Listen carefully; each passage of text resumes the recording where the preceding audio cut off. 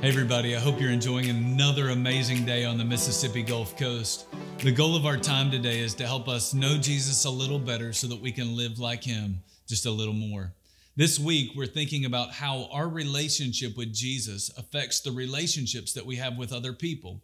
So far this week, we've seen Jesus hanging out with a man who had leprosy and another man who was paralyzed.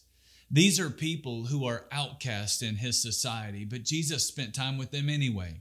They may not have mattered to anyone else, but they mattered to Jesus. Today, I want you to see again how Jesus hangs out with a different kind of crowd.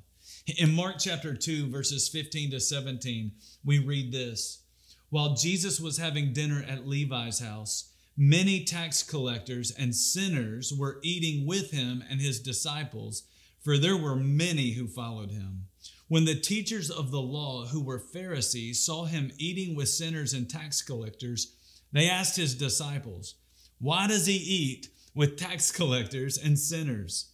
On hearing this, Jesus said to them, It's not the healthy who need a doctor, but the sick.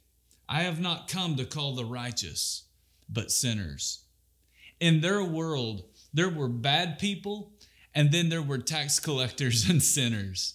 These guys were the worst of the bad boys, and Jesus is actually eating dinner with them.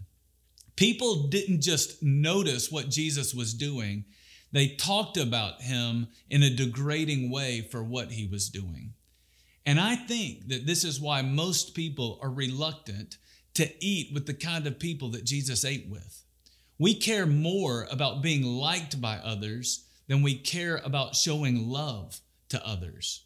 We so want people to respect us that we reject people because we think they may somehow tarnish our reputation. Not Jesus.